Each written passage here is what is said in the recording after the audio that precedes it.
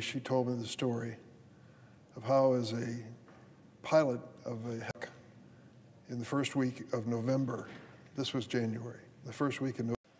Mr. President, it was over 10 years ago. There was a State of the Union address about to take place. And as members of the Senate were given a ticket for a guest to attend. And my staff came to me and said, Who would you like to invite? And I said, Why don't we call out to Walter Reed Hospital and see if there's an Illinois soldier there that's up to, physically up to coming up the Capitol Hill for the occasion? They said, We'll check it out. They came back to me an hour or two later and said, We found a veteran. She's a member of the Illinois National Guard. She's recuperating at Walter Reed and she can attend. And I said, Fine, I look forward to meeting her. The night of the State of the Union address, they told me that the officer from the Guard was in my office and wheeled open the doors, and in came Tammy Duckworth. Tammy was in a wheelchair in full dress uniform, being pushed by her husband Brian, also a member of the Illinois National Guard. This was in the month of January, toward the end of the month. And with a big smile on her face, she told me the story of how, as a pilot of a helicopter with the Illinois Guard, she was shot down over Iraq in the first week of November. This was January, the first week of November and she'd gone through a series of surgeries. The result of that was she had lost both of her legs. At the time, her arm was, right arm was still in a sling, and there was a question about whether or not she would lose that as well. So she was in serious medical condition, but you would never know it. She was just beaming with pride and happiness, and I thought, what a remarkable human being. So she became not only an acquaintance, but started to become a friend and has become a very dear friend to me today. I'm so honored that uh, we have as good a relationship as we do. It's perfect. I'm for Tammy. Whatever she's for, I'm for Tammy. And I've found that that's a good standard to live by in Illinois and American politics. So I worked with her through several political campaigns. Her first race for the House of Representatives ended up in defeat big disappointment, but she never gave up. She never does. Ran again, elected to the U.S. House, and eventually filled the vacancy of Barack Obama when he moved to the presidency. She became the, my colleague and senator from the state of Illinois. We have a great political friendship, a great governmental friendship, but a very great personal friendship. Mr. President, I remember the day I was driving from Springfield in central Illinois to Bloomington, Illinois for a meeting. The phone rang and it was Tammy Duckworth calling. I said, What's up, Tammy? She said, Well, I have some news that I'm sharing with very few people I wanted to share with you. I said, What's that? She said, I'm about to become a mother. I couldn't believe it. I literally couldn't believe it. After what she and that valiant body of hers had been through in combat for the United States. I couldn't believe that she had that opportunity to start a family. And she did. The reason, of course, was in vitro fertilization. She had been working on it for a long time with Bryant to have their first child.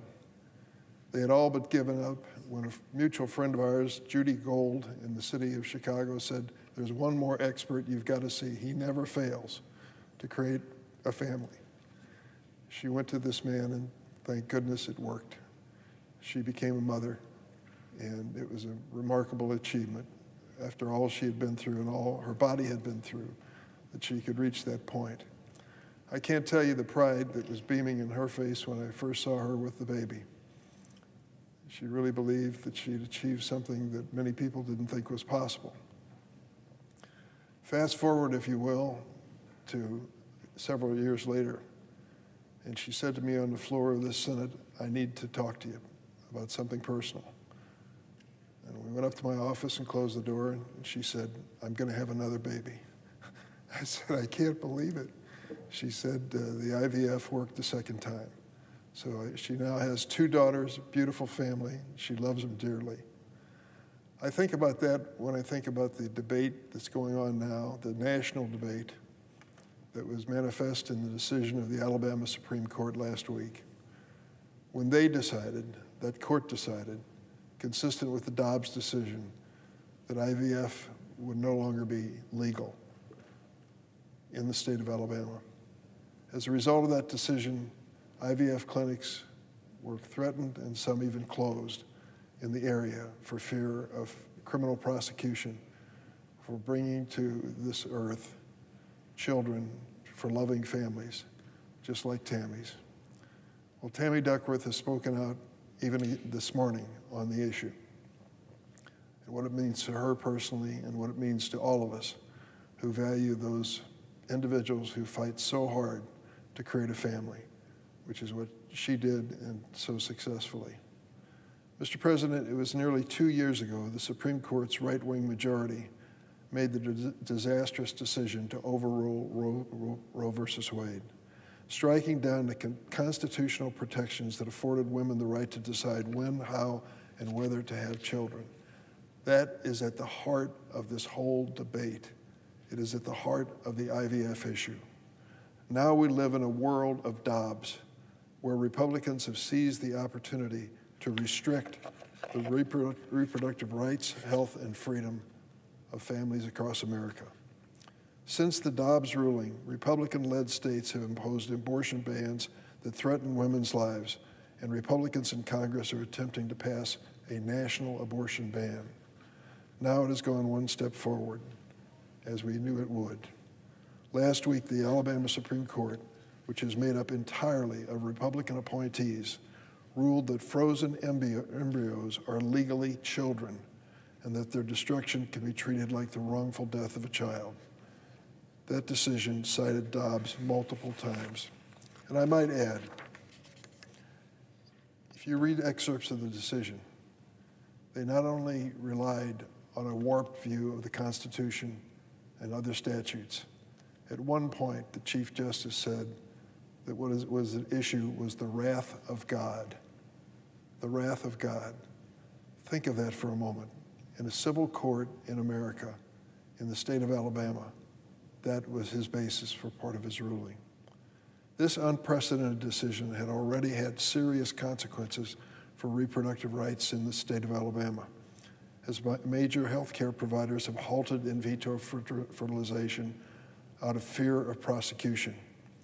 For those who desperately want a baby but struggle with infertility, for cancer patients who must safeguard future reproductive options as they undergo treatment, for same sex couples who use IVF to expand their families. This ruling is devastating. How can congressional Republicans call themselves pro life, the pro family party, when they are actively preventing women from using modern science to start a family? How can they be for life when they are supporting laws that endanger women's lives?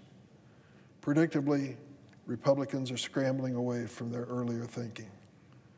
Fearing that this extreme, unpopular measure will hurt their election chances in November, Republicans are simultaneously claiming they support IVF while continuing to support the bills that would codify that life begins at conception.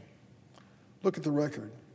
In December 2022, when Senator Duckworth asked for unanimous consent to pass a bill that would have established federal protection for access to IVF and other family treatments, the junior senator, Republican senator from Mississippi, blocked it on behalf of the Republican caucus.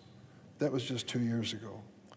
Because of these extreme Republicans, we now live in a country where women are forced to carry pregnancies, including victims of rape and incest, women carrying non viable pregnancies, and women whose pregnancies put their own lives at risk. And because of the same ex- extreme Republicans, we live in a country where women who desperately want to become mothers but who need the help of IVF may now be denied that opportunity. It is unconscionable that Republicans would go this far, but not surprising. Remember that quote from Maya Angelou when someone shows you who they really are, believe them the first time. Republicans have told us that they will continue to attack women's rights. Sadly, I believe them. We'd be foolish not to take them at their word. Remember when Donald Trump promised to appoint Supreme Court justices who would overrule Roe versus Wade? He did, and they did. I am committed to working with my Democratic colleagues to safeguard women's reproductive rights. And I do this in memory of my great colleague and friend, Tammy Duckworth. She is standing up for women all across America who want the chance to fight for the opportunity to create their own families. I hope that this country comes to its senses. We're going to have a hearing on this issue on March 13th in the Senate Judiciary Committee. It is important enough, it is timely enough that we do it and do it effectively. Mr. President, I want to raise another topic in the jurisdiction of the committee. In December 2021, Bobby Everson was killed while he was in the care and custody of the Federal Bureau of Prisons, allegedly by his cellmate. At the time of his death, he was housed at the federal prison in Thompson, Illinois, in the Special Management Unit, a unit notorious for poor management, harsh conditions, even before the Bureau of Prisons moved into Thompson from U.S. Prison Lewisburg in 2018.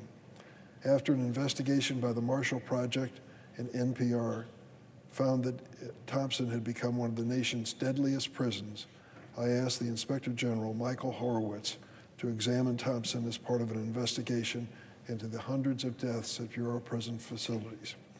One year ago, the Special Management Unit at Thompson was finally closed for good, and now we have the findings of the Inspector General's investigation.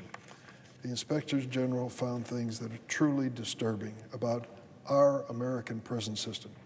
He reports that operational and managerial deficiencies within the prison system have created unsafe conditions and presented critical threats to incarcerated individuals.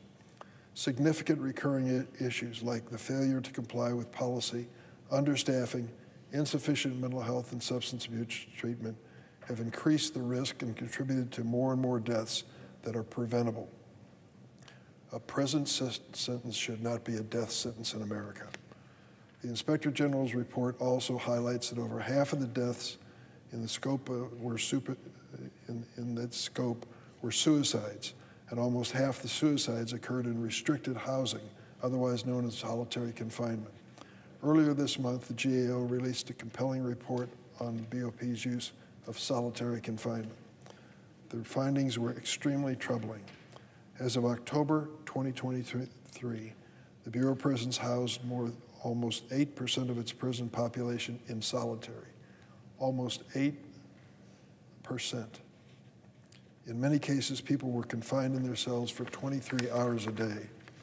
We know that the overuse of solitary confinement causes lasting, irreparable mental harm to incarcerated people. That is why I will soon re reintroduce the Solitary Confinement Reform Act, legislation that would greatly limit the use of solitary confinement in our nation's prison system. Depriving incarcerated adults of basic human rights and endangering their lives is no way to achieve justice. The Bureau of Prisons must do more to create safer and more humane conditions. As chairman of Senate Judiciary, I have established a practice of holding annual oversight hearings for the Bureau of Prisons. Tomorrow we'll hear from the Bureau of Prisons Director Colette Peters and the IG Michael Horowitz to discuss this IG report and examine what led to these deadly failures. The goal of our criminal system must be to rehabilitate offenders and prepare them to successfully reenter society. Solitary confinement is not the avenue to pursue for assimilating these people back into America. It is long past time for the BOP to achieve this goal, and it will only do so through transparency, accountability, and reform. Mr. President, it's been years now since I read an article in Atlantic Magazine by Atul Gawande, a physician in the Boston area who is now working in the Biden administration for USAID. I think he's an extraordinary observer of the, of the human scene and he wrote an entire article about the impact on the human mind of isolation and confinement.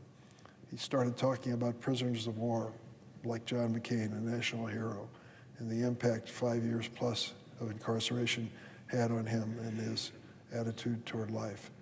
And he went on to say that incarceration in our penal facilities is really not the right preparation for individuals who most will ultimately be released into society. I held two public hearings on solitary confinement and brought in one man who had been on death row in Texas for 10 years. He was an emotional basket case. He will never have a normal life as long as he lives. Another man who'd been in a similar circumstance in another state seemed to have assimilated well. He was now over-the-road truck driver uh, in the Midwest. They each told about what it meant each day to have 23 hours of isolation and then one hour where they knew there was another human being on earth. That sort of treatment is inhumane at its heart. Sometimes it's absolutely necessary to maintain order in the situation. I understand that, but it should never be encouraged. Unfortunately, I'm sad to say that despite my interest in this issue, I've not made an appreciable difference in the number people who are in solitary confinement in our prisons. We can do better. We must do better. The hearing which we will be hearing from the Inspector General gives us the guidelines to follow to improve this situation. I yield the floor. They said, well, check it out. They came back to me in our helicopter with the Illinois Guard. She was shot down over Iraq. The Union address about to take place. And as members of the Senate, why don't we call out to Walter Reed Hospital and see if there's an Illinois soldier there? And my staff came to me and said, Who would you like to invite? And I said, The officer from the Guard was in my office and wheeled open the doors, and then we're given a ticket for a guest to attend. That's up to, physically up to coming up to Capitol Hill for the occasion. And Brian, also a member of the Illinois National Guard.